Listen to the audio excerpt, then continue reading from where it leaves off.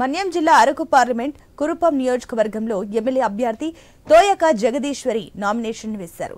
ఈ కార్యక్రమంలో కూటమి నాయకులు అభిమానులు వేలాదిగా తరలిరాగా అరకు పార్లమెంట్ అభ్యర్థి కొత్తపల్లి గీత ముఖ్య అతిథిగా హాజరయ్యారు.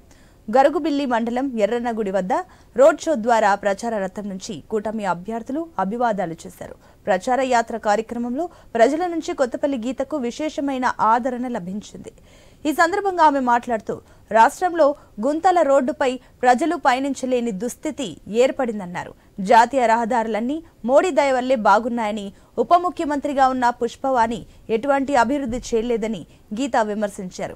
కేవలం వీళ్ళు పవన్ కళ్యాణ్ చంద్రబాబులను విమర్శలు చేయడానికే బయటకు వస్తారని కొత్తపల్లి గీత ధ్వజమెత్తారు. శూన్యం. ఈ రోడ్డు మీద వస్తున్నాం. ర్యాలీలో వస్తున్నాం. గోతులమయ్యే రోడ్ అంతా ఇక్కడ ఉన్న వాళ్ళందరూ వెహికల్ మీద కింద మీద పడుతూ వచ్చాం. ఎందుకంటే ఆ వెహికల్ కిందకి మీదకి ఎక్కడ ఇరిగిపోతుందో తెలియకుండా ఉంది. మనం చూస్తే ఇప్పుడు ఇక్కడ ఒక టైర్ బస్ట్ అయింది. ఎన్నో రకాలైన సమస్యలు చూస్తున్నాం. మనం హైవే మీద వెళ్తుంటే అది మోడీ గారి రోడ్డు. హైవే నుంచి దిగగానే కేడీ రోడ్డు. అంటే గుంటల గుంటల రోడ్లు. కనీసం సరిగ్గా రోడ్ మన జీవితాల్లో మారుస్తుందా? అలాగే అలాగే మన రాష్ట్రం ఈరోజు తలకాయ లేని మండుల్లా తయారైంది. రాష్ట్రం ఇప్పుడు ఇక్కడున్న రాజధాని ఏది అని పిల్లల్ని అడిగితే మూడు ముక్కలు ఆటపడి రాజధాని లేకుండా చేశారు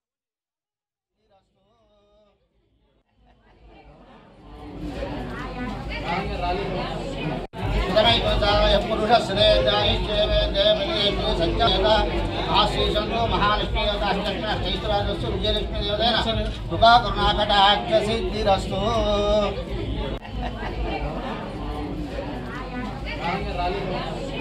సుతమైకోచాయ పురుషశ్రేదాయిశ్చేవేదేవదేవి సత్యేత ఆశీషంలో మహాలక్ష్మీ దేవతాష్టైశ్వరాజస్సు విజయలక్ష్మీ దేవతైన కృపా కరుణాకటాక్ష సిద్ధిరస్తు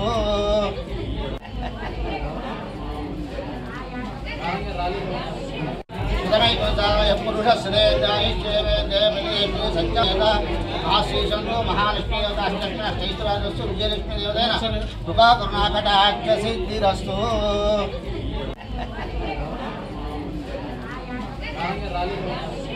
సుతమైకోచాయ పురుషశ్రేదాయిశ్చే